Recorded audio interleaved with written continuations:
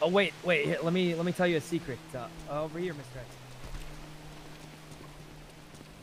There's there's this guy. Uh, there's this guy in the city. I'm actually uh supposed to be like going with him to a theme park or something. I'm, I'm kind of nervous. You got any tips? Like, Yeah, yeah, yeah. I want to have a good impression on him.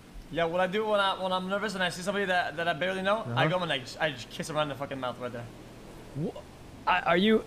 I go I, I go balls deep. It's it's just kind of what I do, man. Do you know who I'm talking? I, uh, I don't know who you're talking about, but that's it's just what I would do. That's what you would do.